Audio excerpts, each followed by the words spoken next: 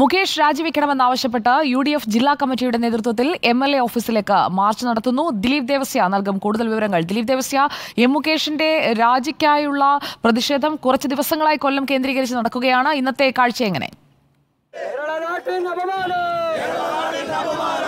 സുജയ ഇത് Mukesh M L എയുടെ ഓഫീസിലേക്ക് പോകുന്ന വഴിയാണ്. ഈ വഴിയാണ് ബാരിക്കേഡുകൾ തീർത്തുകൊണ്ട് ഇപ്പോൾ പോലീസ് അടച്ചിരിക്കുന്നത്. കാരണം പ്രതിഷേധം ശക്തമായി കൊണ്ടിരിക്കുകയാണ്.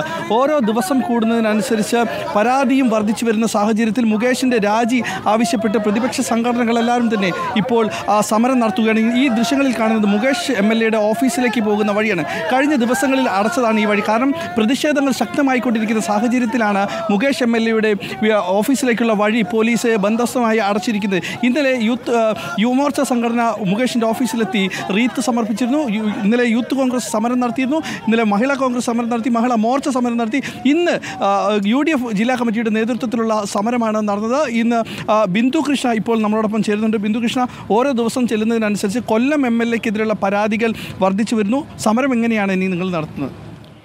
കേരളത്തിന്റെ ചരിത്ര രാഷ്ട്രീയ ചരിത്രത്തിൽ ആദ്യമായിട്ടാണ് ഒരു ജനപ്രതിനിധിക്കെതിരെ ഒരു കൂട്ടം പരാതികൾ സമാന സ്വഭാവമുള്ളത് വരുന്നത്.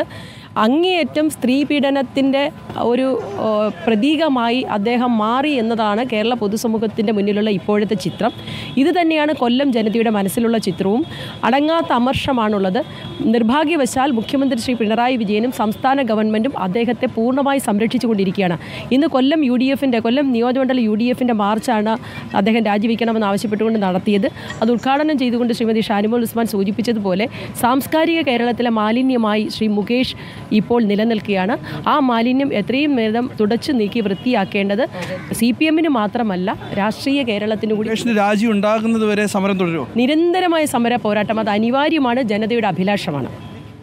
സുജിയ ഇനി അല്പം ആർ വൈ എഫിന്റെ മാർച്ച് അല്പസമയത്തിനകം തുടങ്ങുന്നതാണ്. അതിനുശേഷം മഹിളാ മോർച്ചയുടെ മാർച്ചും തുടങ്ങുന്നത്. ഇതെല്ലാം തന്നെ മുകേഷിന്റെ ഓഫീസിലേക്കാണ്. രാജി ആവശ്യപ്പെട്ടുകൊണ്ട് തന്നെയാണ് ഇവരെല്ലാവരും തന്നെ സമരം നടത്തുന്നത്. ഈ സമയത്തും മുകേഷിന്റെ പ്രതികരണം നമ്മൾക്ക് ലഭിച്ചില്ല. ഒരു ഔദ്യോഗിക കുറിപ്പ് മാത്രമാണ് ഇന്നലെ ലഭിച്ചത്. അതിനുശേഷം മുകേഷ് ഈ നയരൂപീകരണ കമ്മിറ്റിയിൽ നിന്ന് പുറത്താകുമോ? അല്ലെങ്കിൽ അത്തരത്തിലുള്ള എന്തെങ്കിലും ഒരു കാര്യം മുകേഷ് ഇതുവരെ എത്തിയില്ല. അതാണ് അറിയേണ്ടത്.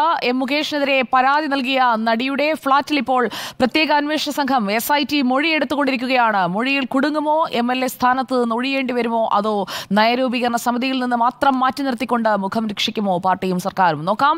ഏറ്റവും പ്രധാനപ്പെട്ട ഈ വാർത്തയുടെ ഫോളോ അപ്പുകൾക്കായി